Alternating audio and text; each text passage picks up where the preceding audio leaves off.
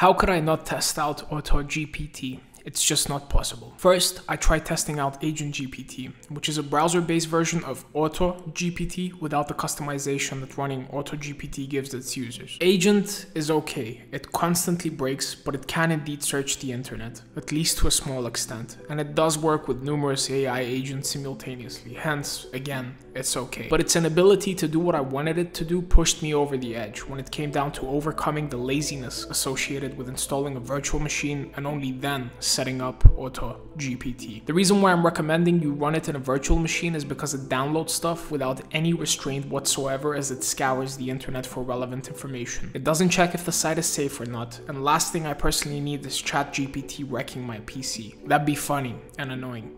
Anyways, after getting it fully up and running on a Windows virtual machine, I could definitely see why it's becoming the hype of the internet over the past week. I don't want to inflate your expectations beyond what they should be, but it's cool. It needs a good amount of spoon feeding, but it can successfully complete jobs you typically delegate to something like a cheap virtual assistant. I've tested it across several fronts with the focus being placed on its internet searching and processing capabilities, and with additional focus being placed on the fact that it runs numerous instances of artificial intelligence. And that's exactly what this video is. Basically a log of how it performed with the tasks I gave it, how I intervened to help it, why it failed, etc. For those interested in setting up AutoGPT, make make sure to check out this video, which should appear in the video card above. That's the exact same tutorial I personally used to get it up and running. And yes, it's easy, anyone can do it. Don't let the command prompt scare you off. You just need to memorize the initiation command, which is literally just python-m autogpt, and that's it, you're good to go. Note that the majority of you watching won't have access to GPT-4 via API, and that's exactly why I recommend you to stick to the line line GPT-3 only command, as this will streamline your process even more. Also, before I get into the tests, what really helped me, at least on the virtual machine, is having Chrome web drivers installed, as this fixed an issue I was having with AutoGPT not being able to browse the internet. If you have any other questions regarding setup, post them below and I'll try answer them to the best of my abilities. But without further ado, let's go.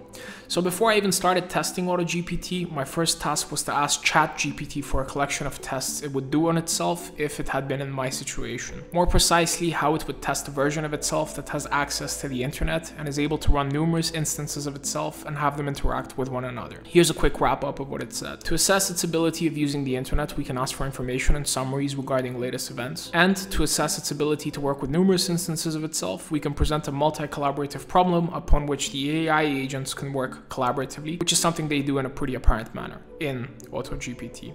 The first thing I requested AutoGPT to do is go on the internet and compile a text file summary of the latest information regarding the Russia-Ukraine war. After numerous previous attempts at making it work, I decided to spoon feed it CNN's RSS feed, but unfortunately it seems to have faced some issues with processing it, so it failed. So I made the task more open-ended and gave it these three tasks. Go on Google, find three latest articles regarding the Russia-Ukraine war, read and summarize the articles, compile a text file with a summary. And so it did.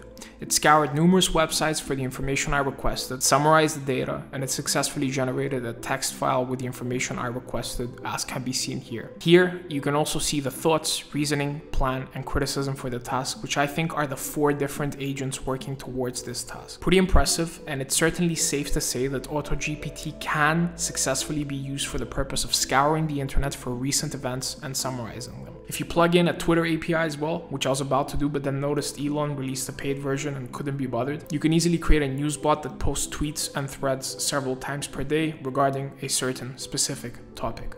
Additionally, I must mention that with tasks like these, specificity is key. Instead of scouring the internet for articles, I said find three articles. This simplifies the process and tells the artificial intelligence exactly what's needed. This is something I recommend you do across all of your prompts as it will have an effect on your overall success rate. Now let's hop over to the second task I gave it. Find the current price of an asset and generate a trading signal on it for the next day. More specifically with goal 1 being identify the latest price of the XRP Euro pair. Goal 2 being identify a one day signal based on its historical price movement, and goal 3 being destroy the world. Kidding. I'm not dumb enough to try and launch something as ignorant and as ballsy as Chaos GPT. With goal 3 being output the signal in a text document. I gave it a Y-10 command, meaning it can run continuously for the the next 10 commands without busting my balls on whether it can continue or not. And the first thing it did is go to CoinMarketCap for the price. Good thinking, however, it failed to identify the price of the asset immediately, despite it literally being there. But of course, there's a difference to how we humans process data and how AI processes data. It seems like it failed to find the relevant identifier with the necessary semantics to let it know that this is the actual right price. And so it somehow deduced the price from other information on the site. I honestly don't know what it did exactly, but the price it gave was approximately correct, but not exactly. Regardless, it then scoured sites like Yahoo Finance and Bloomberg for historical price data and generated a text file with its one day signal. Personally speaking, I'm gonna trust it, neither have I verified the thinking behind the signal as I'm too busy scripting this video and editing, but the job was done.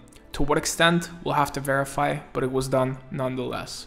Well done, AutoGPT. Moving on to test 3 open-ended scraper GPT, aka a pain in the ass. This task was extremely open-ended, which was my bad.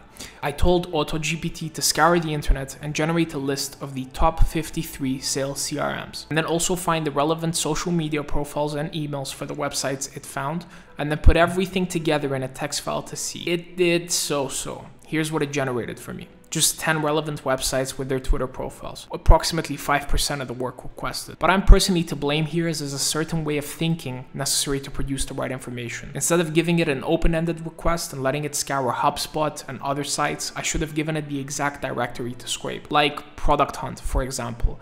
I think it would have generated significantly better results and much faster. Instead, it scoured shitty optimized SEO pages and generated as few results as possible. But it worked at least to some extent. Those were the tests I subjected AutoGPT to, and all in all, I'd give it a 6 out of 10 as it is currently in development. Definitely worth testing out, and there's a lot of stuff it can do, but remember, specificity and spoon feeding. If you've watched till the end, make sure to drop a like on the video, a comment regarding your opinion on all of this, and subscribe. Catch you guys on the next one.